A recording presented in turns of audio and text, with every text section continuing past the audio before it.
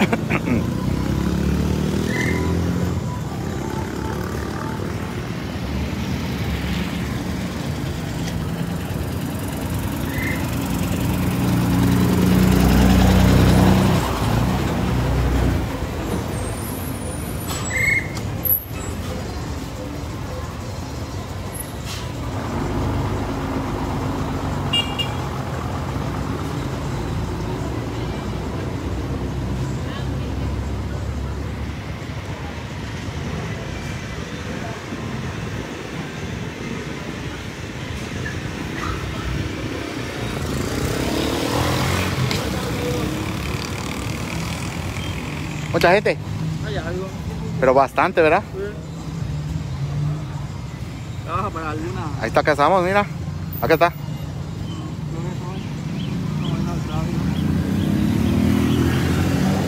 Buenas tardes, estimados amigos y lectores de presoy.com.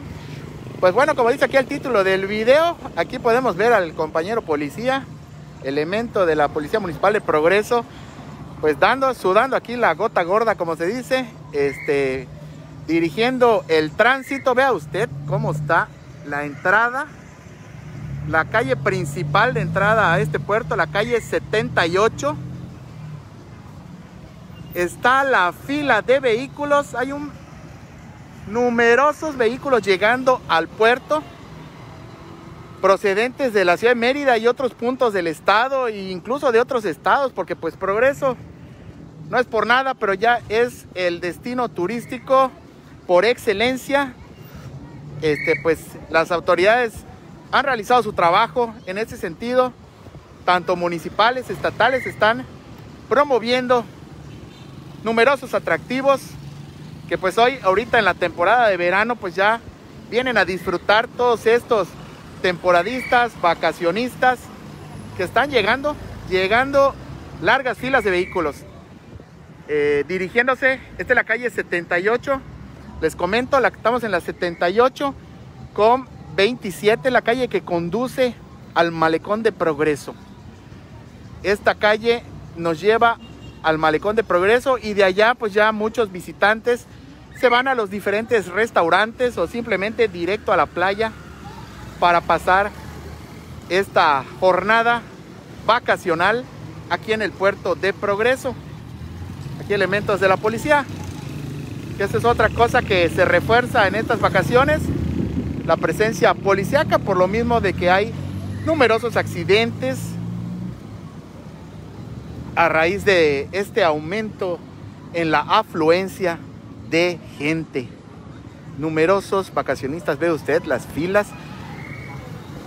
Hay, podríamos decir que hay incluso pues embotellamientos aquí en toda esta zona. La policía municipal ha destinado aquí a varios policías en las principales esquinas de acceso al puerto para tratar de controlar la vialidad, que es algo que eh, a veces no se hace y ahorita atinadamente se está efectuando porque se prepararon precisamente para esta llegada masiva de visitantes que se está recibiendo desde el mes de julio y ahorita todo agosto, largas filas de vehículos. Vamos a cambiar aquí la...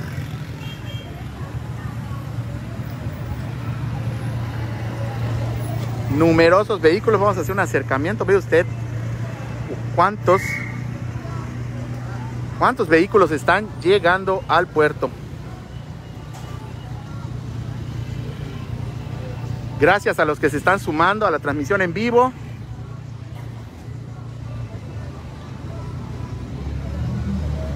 Saludos a María Ayala, a Londra Ortegón, a Carol Cámara, Lau Canché, José Luis Cárdenas, María Eugenia Martínez, saludos a todos ustedes, gracias por conectarse y gracias por compartir esta transmisión en la señal de progresohoy.com, el periódico del puerto. Noema Sánchez, gracias por sumarte. Christopher, Alina Alor, David Méndez, Juan Setz, Mayret Alpizar, Guadalupe Martínez, Jaime Rangel, Juana Sosa, Pablo Rodríguez, Natalia Martínez, Betsy, Judith Palomo. Están preguntando por la marea roja, ¿no? Hasta ahorita El día de ayer hicimos un recorrido por la zona costera. Está todavía eh, pues un poco alejada, eh, según las autoridades oficialmente, por la zona de Chuchulup y Telchac. Eh, todavía no se ha aproximado de manera importante aquí al Puerto de Progreso. Como ustedes podrán ver, la gente está llegando a disfrutar de las vacaciones de verano aquí en la playa.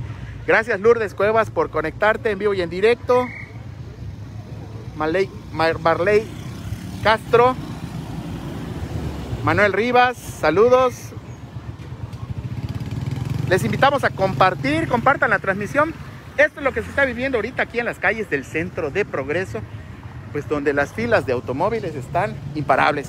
La gente está llegando y como les decía, los atractivos turísticos de Progreso están eh, ocasionando la llegada cada vez de, de, más visitantes. Tenemos al Sendero Jurásico, ahorita ya se están recibiendo visitas aquí en el nuevo Museo de Geología, el que está ubicado allá en el Malecón, que todavía no está abierto al público, pero como parte de sus pruebas de apertura, ya está recibiendo gente, están entrando grupos de, de 10 a 15 personas cada media hora, hacen un pequeño recorrido y se retiran.